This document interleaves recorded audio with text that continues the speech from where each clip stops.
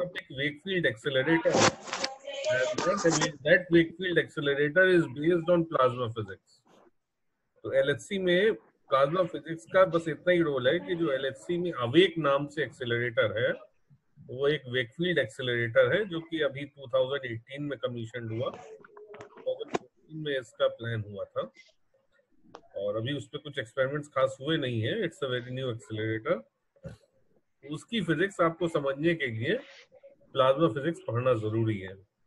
तो मैं introductory plasma physics सबसे बात करूँगा और ऐसे इसका इंटरेक्शन एक इलेक्ट्रोमैग्नेटिक वेव और प्लाज्मा का लेते हैं, वहाँ तक। हम लोग जाएँगे इसमें। तो प्लाज्मा क्या है? What is plasma we will start with this एक बेसिक पॉस्टुलेट लेते हैं। We have a solid well defined lattice arrangement होता है।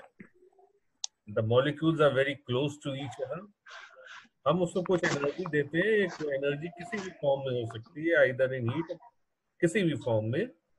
After absorbing the energy it will be converted into liquid फिर और एनर्जी देंगे, फिर after absorbing the energy it will be converted into gas और ज़्यादा एनर्जी देने पे इट विल बी आयोनाइज्ड और it will be converted into positive and negative ions अब प्रश्न ये उठता है कि अगर कोई भी गैस आयंस में पॉजिटिव और नेगेटिव कन्वर्ट हो गई तो क्या वो प्लाज्मा होगी? नहीं, वो प्लाज्मा हर गैस आयोनाइज होके प्लाज्मा नहीं होगी, उसके कुछ क्राइटेरिया हैं कि उसको कब कहेंगे। वो आज हम लोग अभी बाद में देखेंगे।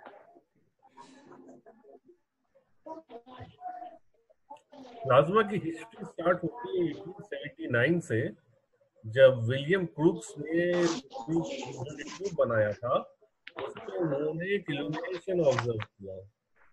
उसको उन्होंने कहा कि जो गैस इसके अंदर है, ये आयोनाइज हुई है आयोनाइजेशन यहाँ पे विजिबल है। इसको उन्होंने प्लाज्मा का बारे में कहा, और इसको टर्म उन्होंने दिया रेडियंट मैटर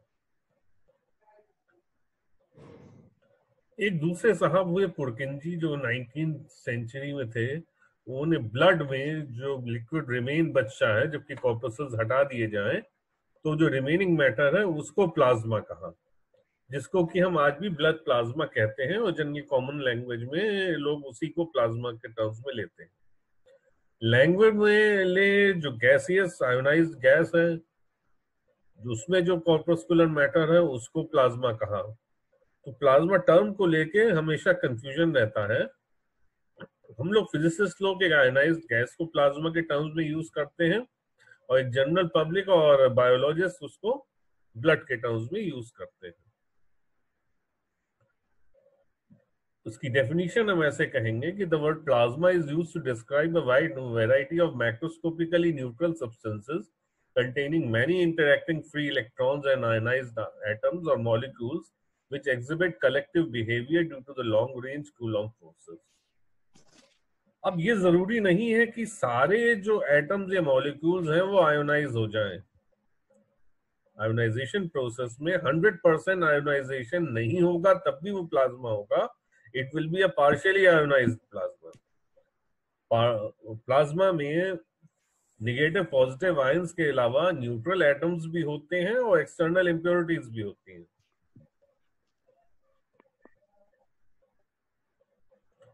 अब प्लाज्मा कहाँ कहाँ मिलता है?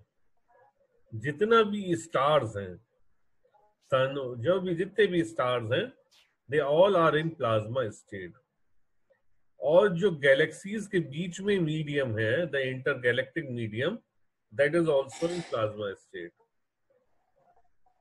99% of the universe में जो मैटर है दैट इज़ प्लाज्मा खाली हमारे अर्थ पे जो मैटर है that is dominated by solid liquid and gas. अर्थ के बाहर जितना भी मैटर है दैट इज़ प्लाज्मा अर्थ के आसपास हमको प्लाज्मा कहाँ कहाँ मिलेगा? पहला है सोलर विंड्स दूसरा लाइटनिंग होती है जो बरसात में that is also plasma jets sprites जो एटमोस्फियर में बनते हैं that is also plasma northern और सॉदर्न पोल्स पे जो ऑरोरास बनते हैं they are plasmas northern hemisphere में उनका नाम बोरेलिस होता है और सदर्न में ऑस्ट्रेलिस होता है। आयनोस्फीयर की जो लेयर है एटमॉस्फेयर में दैट इज़ आल्सो प्लाज्मा एक शिप्स पे एक फिनोमेना ऑब्ज़र्व किया जाता है एंटीना पे दैट इज़ एल्बिनो एल्मोस फायर जो होती है एंटीना पे that is also production of plasma अब हम घर में या इंडस्ट्री में कहाँ कहाँ प्लाज्मा प्रोड्यूस होता है? जितने भी हमारे फ्लोरेसेंट लैम्प्स हैं नियॉन साइंस हैं प्लाज्मा टीवी स्क्रीन हैं, और प्लाज्मा लैम्प ये आप घर में देख लें, कितने आर्टिकल प्लाज्मा यूज़ हो रहा है। प्लाज्मा टीवी है ब्लेड्स हैं, एलईडीज हैं, प्लाज्मा टीवी जो है, प्लाज्मा कटर्स हैं प्लाज्मा प्यूरी, एयर प्यूरिफायर भी हैं, LCD screen micro electronic devices, जितने भी नैनो डायोड्स, क्वांटम डायोड्स हैं they are textile treatment is also done by plasma metallic treatment is also done by plasma.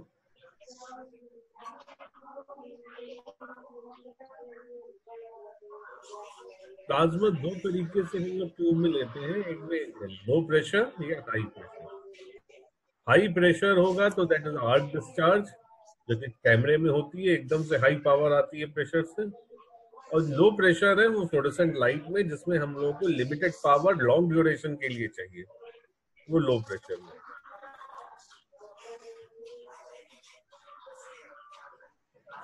इसके अलावा induction से coils को tube के ऊपर लेके उससे इलेक्ट्रिक डिस्चार्ज प्रोड्यूस करके जो गैस अंदर ट्यूब में बढ़ते हैं, उसको आयनाइज करते हैं। इसी तरीके को कंफाइन करने के लिए, इस प्लाज्मा को जो हमने कॉइल के अंदर प्रोड्यूस किया, अगर कंफाइन करना है तो मैग्नेटिक फ़ील्ड लगा के उसको कंफाइन करते हैं। प्लाज्मा के साथ दिक्कत ये होती है कि जैसे ही हमने प्रोडक्शन फ़ील्ड बढ़ाई द गैस अगेन आयोनाइज वापस गैस में बन जाएगा। पॉजिटिव नेगेटिव चार्जेस फिर से कंबाइन कर जाएँगे और हमको गैस मिले फिर से मिल जाएगी।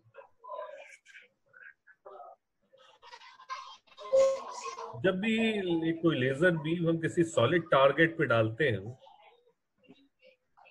तो क्या होता है? The target get heated heat इतनी ज़्यादा हो जाती है कि सरफेस के मॉलिक्यूल्स होते हैं स्टार्ट मेल्टिंग जो सरफेस मॉलिक्यूल मेल्ट होते हैं, उस सरफेस पे जो उससे पहले जो गैस गैस वेल्डिंग आप देखते हैं गैस वेल्डिंग में आप देखेंगे, जैसे गैस वेल्ड कर रहा है वो वेल्डिंग में उसके colour of the fuel changes वही जो चेंज द फ्लेम है दैट इज़ आयोनाइज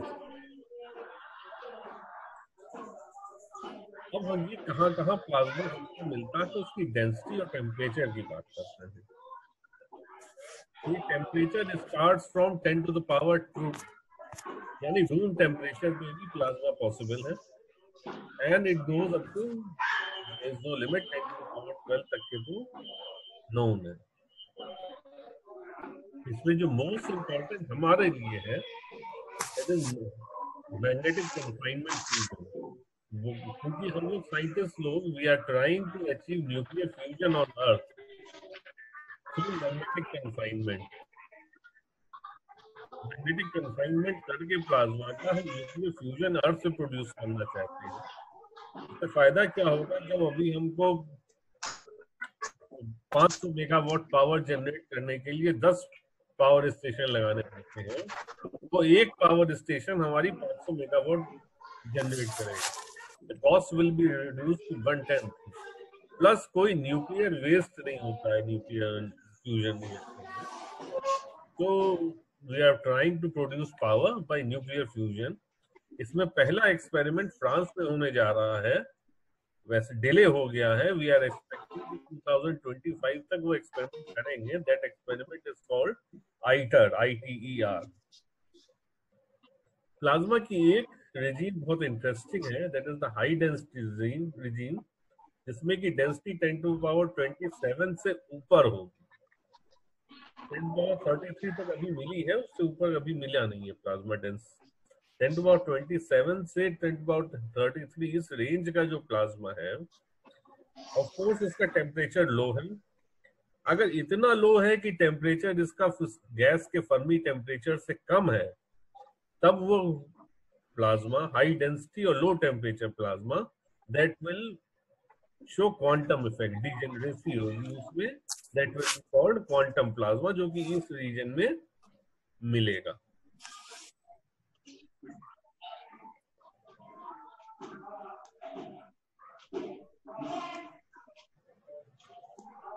जैसे हमने बताया कि हमारा पहला पर्पज अभी जो है प्लाज्मा स्टडी करने का है is to produce nuclear fusion nuclear fusion के लिए ज़रूरी है कि प्लाज्मा को हम रोक पाए कन्फाइन कर पाए।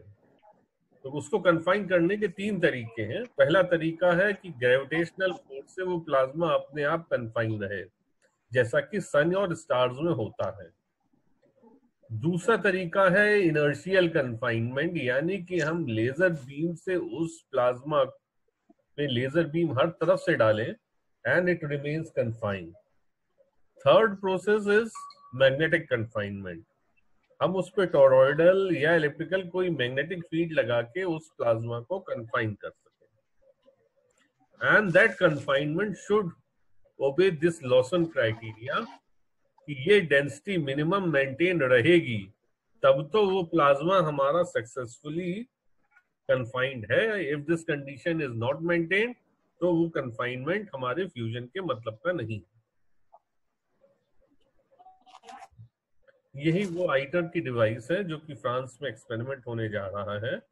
इसमें इंडियन गवर्नमेंट भी 2500 करोड़ मनी लगा रही है इसमें। इनर्शियल कन्फाइनमेंट चारों, सब तरफ़ से लेजर बीम लगा के उसको कन्फाइन किया जाता है। ये न्यूक्लियर फ्यूजन ऑप्टेन करने की हिस्टोरिकल मैप है। कब से शुरू हुए और कब क्या डेवलपमेंट हुआ और कब क्या आगे प्लान है।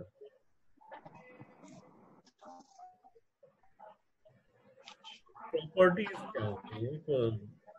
प्लाज्मा गैस से कैसे भिन्न है? क्योंकि ये आयोनाइज्ड है तो आयोनाइज्ड है तो इलेक्ट्रिकल कंडक्टिविटी इसकी बहुत ज़्यादा होगी। दूसरा इंडिपेंडेंटली एक्टिंग स्पीशीज है। इलेक्ट्रॉन्स अलग हैं पॉजिटिव चार्जेस अलग हैं, दोनों आपस में इंडिपेंडेंट हैं। जबकि गैस में तो गैस मॉलिक्यूल्स हैं, वो एक अपनी, उनकी एक अलग एंटिटी यहाँ पॉजिटिव नेगेटिव आयंस अपने अलग अलग है। जो गैस में डिस्ट्रीब्यूशन होता है, वो मैक्सिविलियन होता है। या प्लाज्मा में हमको कहीं कहीं बोस आइंस्टीन, कहीं फर्मी डायरेक्ट भी मिलता है। जो हमने अभी क्वांटम प्लाज्मा की बात की थी, वो फर्मी डायरेक्ट स्टेटिस्टिक्स हुए करता है। ये गैस में मैक्सवेलियन ही होगी। इंटरेक्शंस इसमें टू पार्टिकल कॉलिजन होंगे गैस में, क्योंकि और प्लाज्मा में कलेक्टिव ऑक्सीलेशन और कॉलिजन होते हैं। ये एक डेंसिटी स्केल और टेम्परेचर है, जैसा अभी एक वो पहले ग्राफ देखा था हम लोगों ने, ये उसी का डेटा है। तो अभी हम सबसे पहले हमने बात की थी कि हर एक आयोनाइज्ड गैस को प्लाज्मा नहीं कह सकते। किस गैस को हम प्लाज्मा कहेंगे उसकी कंडीशंस हैं। तो पहली कंडीशन है macroscopic neutrality macroscopically the plasma should be neutral all together number of particles of positive and negative charges should be equal macroscopically it should be uh, neutral वो neutrality कैसे आएगी? This is the particle density of electron This is the particle density of ion multiplied by the charge of ion. By charge. This should be balanced. अगर ये balance नहीं होगा ये जो आप देखेंगे N I minus N E अगर ये टेन के order one order ten to power one का ऑर्डर का भी होगा then it will result in production of a temperature of about 10 to power 12 degree Kelvin. Saha equation से जब निकालेंगे तो it will come out to be 10 to power 12 degree Kelvin ये plasma की बुक्स में आपको वर्कआउट मिल जाएगा तो आप ये समझे कि 10 to power 12 degree Kelvin what kind of a temperature it will be कहा हम उसको सस्टेन कर पाएँगे we will not be able to sustain that temperature. That is why macroscopic neutrality is must.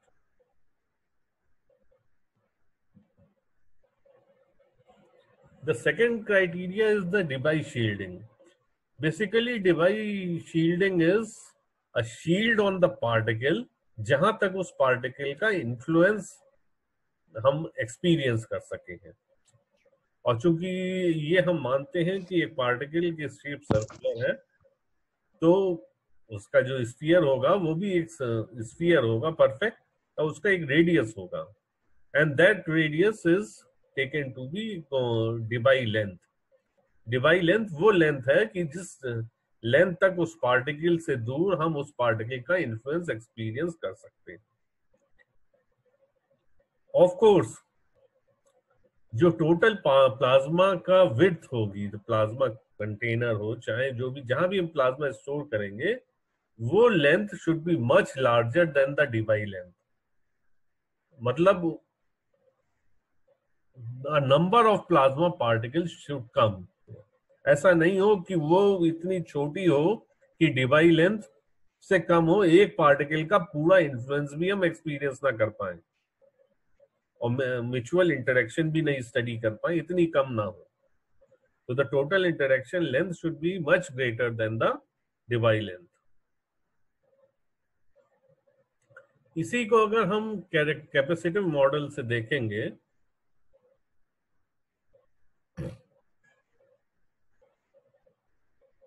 So capacitive model से हम Gauss equation की मदद से इसका पोटेंशियल भी निकाल सकते हैं। एक स्फीयर मान के, एक स्फीयर का पोटेंशियल निकालते हैं, जिसमें कि हम उसका रेडियस डिवाई लेंथ के बराबर ले लेंगे। Then we can find the potential of this Debye sphere आपको डिटेल वर्कआउट करने के आपके लिए आवश्यकता नहीं है। The next is the plasma frequency जब आप लोगों ने एमएससी फ़र्स्ट ईयर में motion of electromagnetic interaction of electromagnetic in ionize medium पढ़ा होगा तब आपने फ्रीक्वेंसी निकाली होगी प्लाज्मा फ्रीक्वेंसी निकाली होगी आपने। यस सर कुछ याद है? यस यस यस वही प्लाज्मा फ्रीक्वेंसी है। होगा।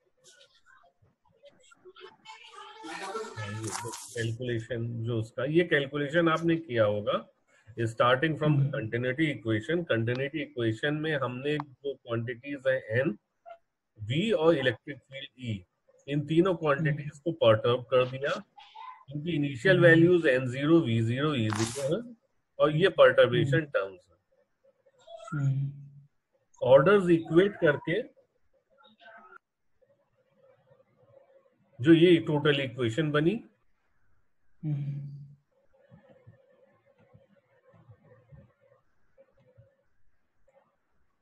वेक्टर एल्जेब्रा यूज़ करके ये this will be reduce to this equation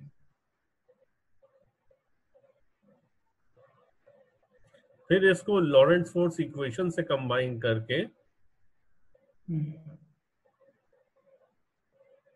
it reduces to ये Lorentz force del V by del T Lorentz force equation से आएगा।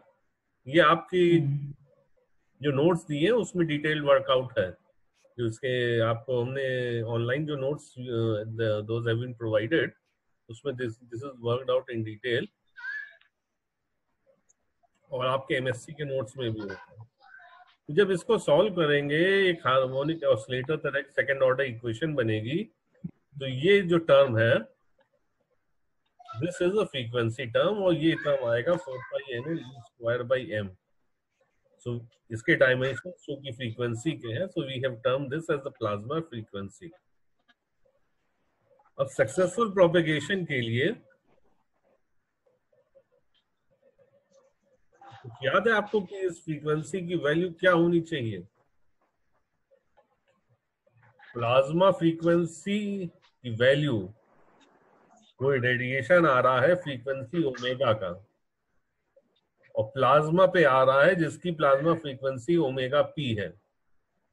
तो रेडिएशन की omega should be greater than omega P omega should be less than omega P और omega should be equal to omega P क्या condition होनी चाहिए successful propagation के लिए? यहाँ पे MSc less than less than omega P जब less than omega P होगा तो चूँकि आपने देखा इसके न्यूमरेटर में there is a density term yes sir जब फ्रीक्वेंसी लेस होगी तो डेंसिटी भी कम होगी। तो ऐसे Yes, प्लाज्मा को we will term as under dense plasma and omega is greater than omega P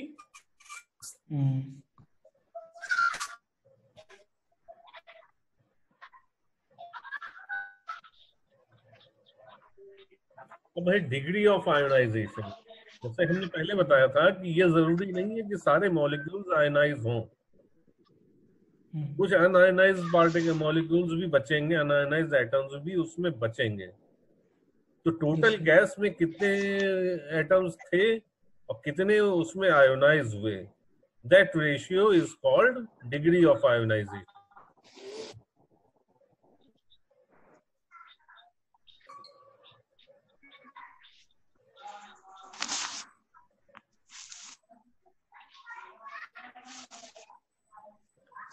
basically plasma magnetic plasma का मतलब ये नहीं है कि हमने प्लाज्मा की अपनी कोई मैग्नेटिक फ़ील्ड डेवलप होगी हम किसी भी हम्म। प्लाज्मा पर जब एक एक्सटर्नल फ़ील्ड लगाते हैं तो व्हाट विल हैपन एक हमारे पास प्लाज्मा है उसमें हमारे पास नेगेटिव चार्ज पार्टिकल्स हैं। हमने मैग्नेटिक फ़ील्ड लगाई।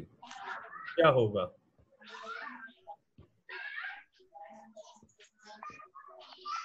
लॉरेंट फोर्स फोर्स लगेगा Hmm. and those हाँ particles will tend to move. Direction of motion क्या होगा? It will be perpendicular. तो V cross B का टर्म आता है ना F is equal to Hmm. Yes, sir. हाँ. So it will B be cross B, to, it will be perpendicular to the magnetic field. Hmm. Cross product है तो it will be perpendicular. तो वो perpendicular direction में that particle will move. Yes, और जब move करेगा तो what has been analysed कि plasma becomes stable under the influence of this magnetic field यही इस स्टेबल प्लाज्मा जो है इसको मैग्नेटाइज्ड प्लाज्मा कहते हैं Okay. Theoretical dispersion. I think we should it's 1128 Hmm.